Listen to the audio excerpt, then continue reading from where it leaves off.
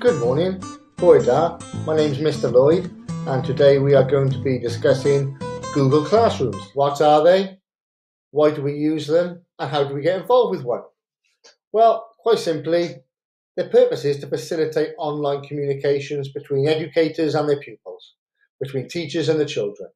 Um, in today's climate, we're talking blended learning at the moment, so it's with us for the foreseeable future. Let's get to grips with it, see where we start. So, it operates through the Hwb system. So, hwb.gov.wales, and you need to log in. I am logged in already as myself, S. Lloyd, Mr. Lloyd. Importantly, you need to check the icon up here is suitable. Are you still logged in on the Google system as yourself? If you didn't use the computer last, it could be your, one of your parents, a brother, a sister, an uncle, or an aunt whoever uses the same computer as you, check that's yours. That is mine. That's my school log on. So I'm okay to go from here.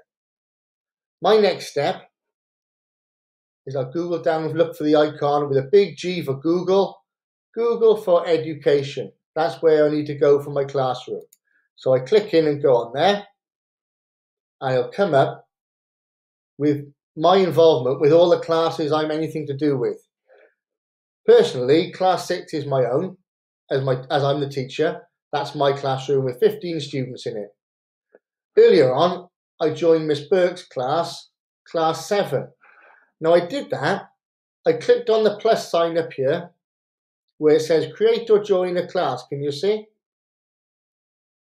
Good. So I'm going to click join the class. And what I did on there was I put in the code for Miss Burke's class that she'd sent me privately in an email just to myself and shared with the other class members. I put the code in, I clicked join, and the result was I became a member of class seven here, year six in our school. And that's Miss Burke, the teacher. Alternatively, your teacher may well invite you by a link. Now, this is class three in our school in Llanharry, Mr. Breton. She very kindly invited me to join her class earlier as a student, and it's come up on my class, like as, as you can see.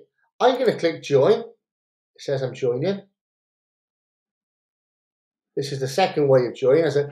And there we are. Well, nice picture, Miss Le Breton. And I'm now a member of class three as well. So there we go. If I was to go back into my own classroom, this is class 6, L, class work. I set one piece of work under the topic of well-being and it's called Feel Good. I direct you to a link to follow a video just to watch, just for a bit of fun to get ourselves going. And then you hand that back in and say you've watched it, leave a comment, and you'll be assigned a score.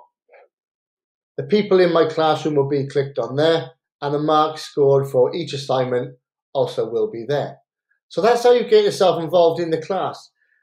You got two ways. So the one is, or the first I should say, is you will get sent a code. Like I said, so when we go back to the beginning, if we click on join a class, your teacher will put a code in there for you. Or they will have sent you a code and you enter it click join, and your class will come up. Alternatively, like you saw Miss Le Breton's class earlier, class three, she sent me a direct invite, which was very kind of her, and I just simply clicked join, and I was in. And there we go. That's how you join your first Google Classroom. Good luck with it. We'll speak some more soon. Take care.